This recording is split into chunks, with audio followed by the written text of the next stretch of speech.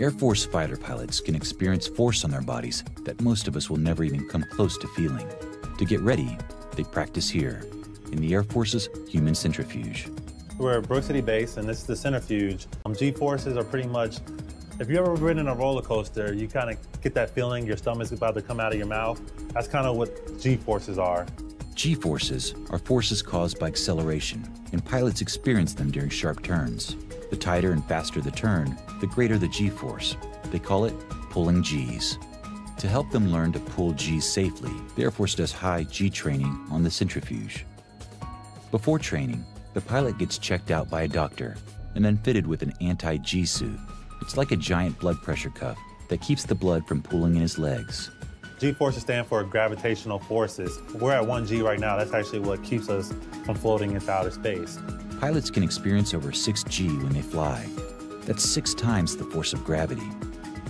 If I was at 6G, my body would feel like if I weigh 100 pounds at 6G, my body will now weigh 600 pounds.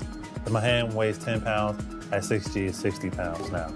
You can actually see how difficult it would be for a pilot to flip a switch here and has to do a lot of other things while pulling back on the stick. Sometimes the G forces are so strong that pilots can lose consciousness.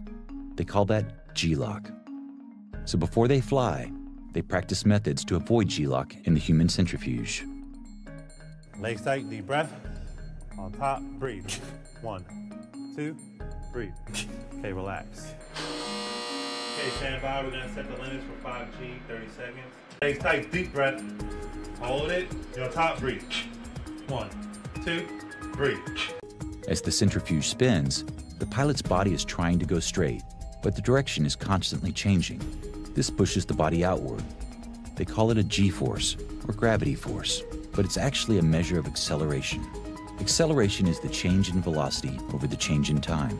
Velocity is determined by both speed and direction, so even if the speed stays the same, because the direction is constantly changing, there's acceleration. An untrained person might black out between 4 and 6G, but a trained pilot wearing an anti-G suit and using the straining maneuver can go up to 9G in the centrifuge, just like this pilot did today. There's a lot of math and science involved with this, and I would just say, you know, study, make sure you're doing the right things at school, and hopefully maybe one day you actually will get to work with a centrifuge. I've been here for about four and a half years. I learned from the best and I just try to do the best I can every day I come in and, and get to play with my big uh, expensive toy.